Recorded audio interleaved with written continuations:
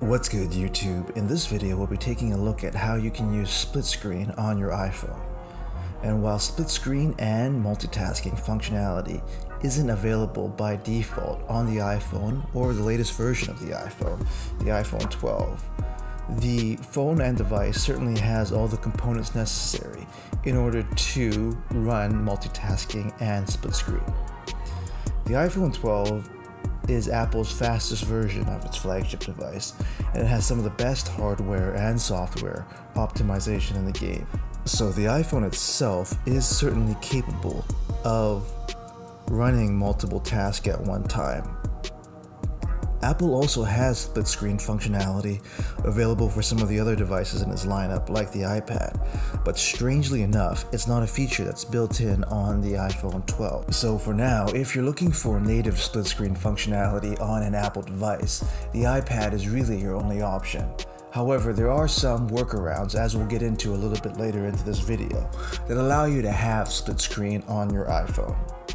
And while there has been some headway in this regard, with picture in picture being introduced on some compatible apps for video for the iPhone, there still hasn't been a full fledged split screen multitasking solution that has been present on Android for some time. It's actually somewhat mystifying how, given all the software and hardware advances that Apple has made over the years with the iPhone, and how ahead of the curve it's been in terms of new and in demand features for mobile phones, that Apple has chosen not to in include native split screen functionality on their iPhones. We'll just have to wait and see if Apple chooses to eventually release split screen, or we're going to have to keep working on these workarounds.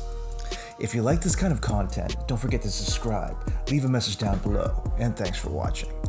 So in order to get split screen functionality on your iPhone, you'll have to go through a third party app.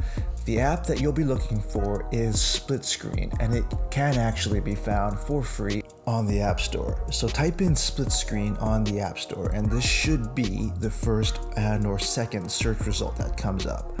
Download the app, and once it's downloaded, you'll have the option to open it up. And here you'll be given access to split screen using various apps that you probably are familiar with. So right off the bat, you'll notice that you have access to Google, YouTube, Facebook, Wikipedia, Amazon, Twitter, Reddit, and Instagram.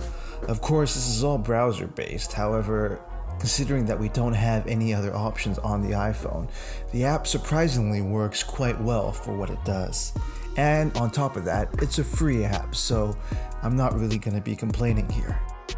You'll notice that if you load up each of the individual apps, you can actually play a video and browse the internet at the same time, which is a feature that isn't as easy on the iPhone as it sounds. You can use the center adjustment panel to adjust how big or how small each of the individual screens are. And this is quite useful if you're using YouTube mostly for music while you browse the web on the other multitasking panel. So there you have it everyone, split screen for your iPhone. While it's not a native solution, it does work surprisingly well for basic tasks like browsing the internet and watching YouTube videos. So what do you think? Are there other solutions available that allow you to do multitasking on an iOS device on your iPhone? Leave a message down below. Don't forget to subscribe.